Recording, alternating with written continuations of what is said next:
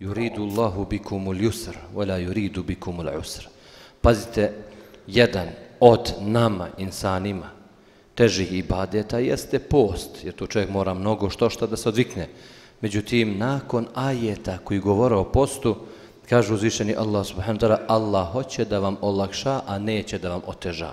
To je mnogo znači zanimljivo kad čovjek podvuče tu frazu i vidi kako nam je Allah olakšao, jer noćas je već četvrta noć, četvrte teravije, takom brzinom ide da čovjek nije ni svestan. Dok se okreneš, ono prođe pola Ramazana. Dok mi krenemo po iftarima, eto, završi se, završi se Ramazan.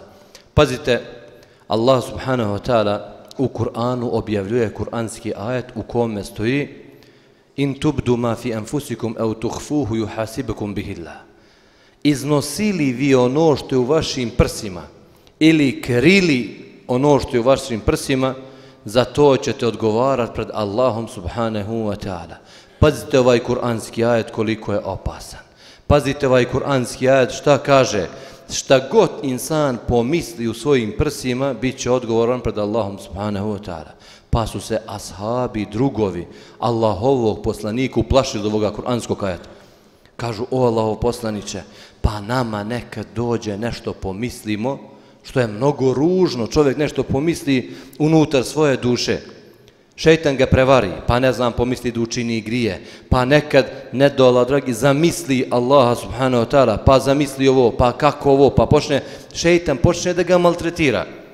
Pa se što kaže Allaho poslanik, da znate, kad se ovo insanu pojavi ovako ove sumnje, treba čovjek da, zašt, da, da, da traži od Allaha zaštitu, euzu billahi mine šeitanir ređim. Iako treba ponovo da kaže amentu billahi wa melaiketi da prouči amentu billah do kraja. Da se vrati ponovo Allahu subhanahu, subhanahu wa ta'ala.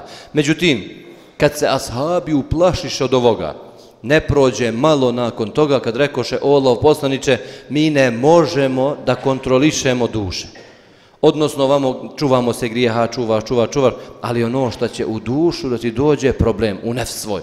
Pa onda uzvišeni Allah subhanahu wa ta'ala objavljuje sljedeće kuranske ajete gdje olakšava. I kaže, la yukellifu Allahu nefsen illa wusaha. Allah ne opterećuje nikoga preko svojih mogućnosti. Ono što imaš, znači ti što ti upravljaš, čim ti upravljaš, da to ćeš biti odgovoran. Ono što ne možeš da upravljaš, što te prevari, što ti duša, što tvoj nefs, ne duša, nego nefs tvoj, koji ti naiđe, pa ti nešto dobaci šeitan, pa te, pa te što kažu prelomi, za to nećeš biti odgovoran kod Allaha subhanahu wa ta'ala. La yukellifu Allahu nefsen illa wusaha. Laha ma kesebet u alejha mektesebet. Čovjek će za sve odgovara što učini dobro ili, ili loše.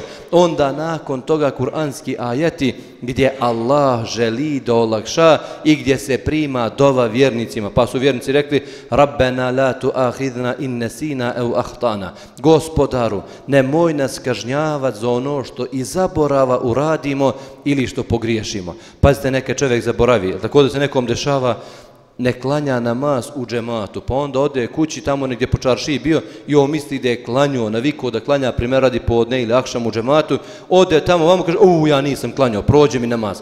I zaborava. Čovjek u tom trenutku neće biti kažen kod Allaha spontana, ali će biti kažen ako ga namerno ostavlja. Ali kad zaboravi, neće. Ono što se zaboravi, kažu u ovom kuranskom ajetu, vjernici mole Allah, gospodaru, nemoj nas kažnjavati za ono što zaboravimo ili nehotice, pogriješimo. Mnogo puta čovjek hoće da učini neko dobro, pogriješi, napravi neku grešku, nije znači bila namjerna, nenamerna greška, Allah subhanahu wa ta'ala će oprostiti. Dalje. Rabbena la tahmil alejna isran kema hamelte ala ledine min qablina. Gospodaru, nemoj nas opterećivati teretom kojim si, kojim si teretio one prije nas. Narodima prije nas je bilo mnogo teže. Narodima prije nas je bilo mnogo teže iz više razloga. Zamislite ovo sad. Za vrijeme Allahovog poslanika tek propisan post. Tek propisan post. I njima je bilo dozvoljeno samo da jedu od akšama do jacije. To ti je što ti je. Ko pojedeš, pojedeš. Ko popiješ, popiješ. Ko završiš posao, završio. Nakon toga ponovo nema jela i piće, nema ništa, zaustavlja se. Ponovo čekaš sljedeći akšam. Pazite, zar nije to bilo teže? Mi imamo sad, hvala Allahu, po 5, 6, 10 sati zimi, kad nam dođe maćemo po 12, 13 sati, da opušteno jedemo, pijemo, da se odmaramo noću i tako dalje. Oni nisu imali. ili jevreji koji su bili kažnjavati od strane Allaha subhanahu wa ta'ala sa raznim kaznama. Oni su stalno zanovjećali pa im je Allah stalno slao kazne i kazne. Pazi na detalj, kod jevreja. Kod jevreja nije im Allah primao teobe dok se ne bi poubijali. Ako hoćeš da budeš ženetlija, mora da se ubiješ. Pazi, ko bi od nas bio spreman sada da se ubije? Da bude da kaže hoću u dženet, ali prvo moraš da se ubiješ. Znači, kod nas sad suprotno, ali je njima Allah otežavao. Tražili su otežanje, evo ti otežanje. Hoćeš još, hoćeš još teže, evo ti još teže. Kaže, nemoj nas tovariti sa onima što si tovario prije nas. Gospodaru, ne daj nam da nosimo teret koji nemamo snage da ponesemo. Pazite, drugi kuranski ajed, nemoj nam tovari, znači teret koji ne moramo da ponesemo. Rabbena fagfir lana, gospodaru, oprosti nam.